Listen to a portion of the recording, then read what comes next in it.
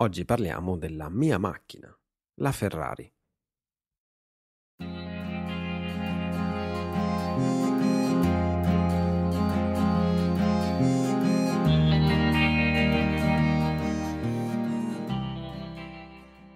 Ciao e benvenuti a Oggi parliamo, il podcast per gli studenti di italiano. Come va? Come stai? Spero tutto bene. Prima di iniziare ti ricordo che puoi supportare questo podcast offrendomi un cappuccino sul mio Patreon, dove puoi anche comprare le trascrizioni degli episodi. Aiutami a mantenere questo podcast gratuito e senza pubblicità. Vediamo le tre parole di oggi. La prima parola è paese, un nome. Questa parola è interessante perché ha due significati diversi e viene usata molto spesso. L'Italia è un paese, la Francia è un paese, la Cina è un paese. In questo senso è un sinonimo di Stato. Il secondo significato è quello di villaggio, di un piccolo centro abitato. Per esempio, io sono nato in un piccolo paese. La seconda parola è parcheggiare, un verbo. Capisci dall'etimologia del verbo che parcheggiare significa mettere la macchina, l'automobile, in un parcheggio. E cosa devi inserire quando parcheggi l'automobile?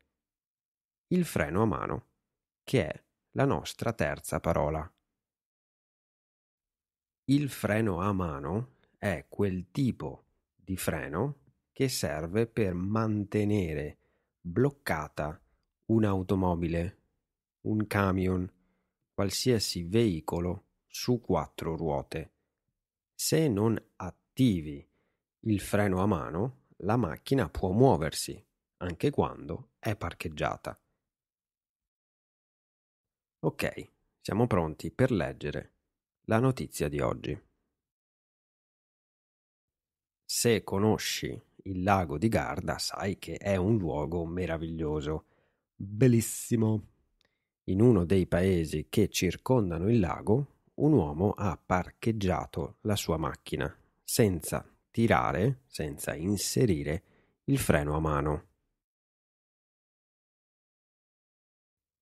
Non stiamo parlando di una macchina normale, di una Fiat Panda. Stiamo parlando di una Ferrari da circa 340.000 euro il pilota si è dimenticato il freno e la macchina è andata lentamente verso il lago per poi entrare nel lago. Il fatto è ancora più surreale perché il pilota era dentro la macchina, non era uscito, era seduto dentro la macchina. Probabilmente questa persona stava guardando i post del mio Instagram. Per fortuna la macchina si è fermata in un punto in cui l'acqua non era alta e il pilota non si è fatto male.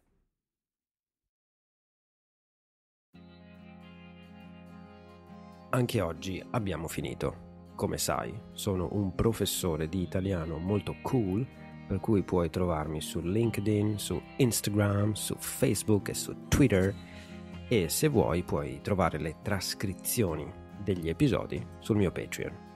Noi ci sentiamo domani. Ciao!